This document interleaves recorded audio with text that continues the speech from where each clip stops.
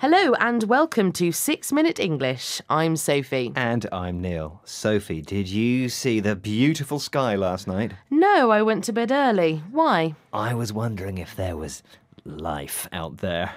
You mean life on other planets? That's just science fiction, Neil. It isn't. People are fascinated by life on other planets for a good reason. You believe in little green men? Mm, not necessarily, but possibly. Well, Mars is our closest neighbour in the solar system and the subject of today's show.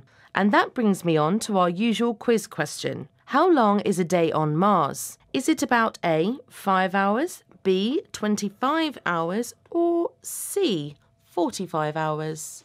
And I think it must be C, 45 hours. Things are weird on other planets, and Mars is further from the Sun than us. Mars may be our closest neighbour, but it's it's hardly in our backyard, is it? It is in astronomical terms, Neil. It's visible to the naked eye, meaning without using instruments, and it's reachable by spacecraft. Well, we'll find out later on in the show whether you got the answer right or not.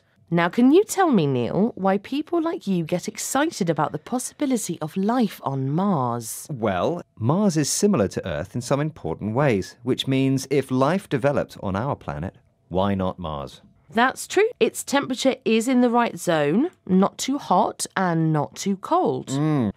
But actually, we could find Mars pretty cold an average temperature would be around minus 63 degrees Celsius compared to Earth's 14 degrees Celsius. It's also very arid or dry. And it needs to be wet for life to develop, doesn't it? That's right. Many scientists think that liquid water is essential for life, but there may have been water on the surface of Mars in the past, and recent research suggests that there may be water underground. Let's hear some more about this from Professor John Zarnecki, who teaches space science at the Open University. We are now seeing that, in fact, Mars probably does have water, not liquid water. there, there is ice uh, just below the surface, and there's even just recently tantalizing evidence that perhaps water does flow periodically. Now, and also coupled with the fact that here on Earth we are finding that life in very primitive form. Mm exist in the most extreme environments. These are the so called extremophiles that exist at the bottom of the ocean. So life is much, much tougher. What does tantalizing mean, Sophie? It means something you want that's almost, but not quite, within reach. So, scientists would love to think water flows on Mars, but the evidence isn't strong enough for this to be certain. The other interesting point the professor makes is that life may exist in the very harsh Martian environment because primitive life exists in extreme places on Earth. Extremophiles are organisms, or small creatures, that live in very extreme environments and can survive conditions that would kill most other organisms. But on Mars, they would be living underground because the radiation, or light and heat, from the sun would kill any organisms living on the surface of the planet. So, why doesn't the sun's radiation kill us then, Sophie? The Earth has a strong magnetic field created by its hot molten core, or centre, and this protects us from the sun's harmful solar wind. And what about Mars? Why doesn't it have a magnetic field? It used to, four billion years ago.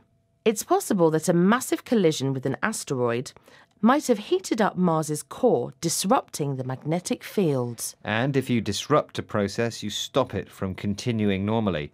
Now, to return to the subject of collisions, Sophie, I have something very interesting to tell you. Yes? A meteorite, or a piece of rock from outer space, might have crashed into the Earth millions of years ago. That meteorite might have contained Martian life forms. So we might be descended from Martians.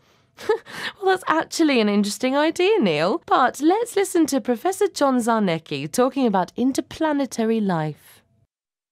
If we do find traces of life on Mars, we don't know, do we, whether it evolved independently or was it perhaps seeded from Earth? It is possible that life forms from Earth travelled to Mars and perhaps uh, existed there, or the other way around. So, life on Mars may have evolved or developed on its own, or it might have arrived from Earth in a lump of rock. Or the other way round. So Martians might be humans, or we might be Martians. One big interplanetary happy family, Sophie. Well, Neil, let's hope you stay happy after you hear the answer to today's quiz question. I asked, How long is a day on Mars? Is it A, 5 hours, B, 25 hours, or C, 45 hours? And I said C, 45 hours. They must have a long day over there. And you were wrong. The correct answer is B, because a day on Mars is slightly longer than here on Earth. It's 25 hours. Anyway, can we at least hear the words we learnt today? They are the naked eye, arid, tantalizing, extremophiles, organisms, radiation, core, disrupt, meteorite, evolved. Well, that's the end of today's Six Minute English. Join us again soon. Bye bye. Goodbye. Six Minute English. from the BBC.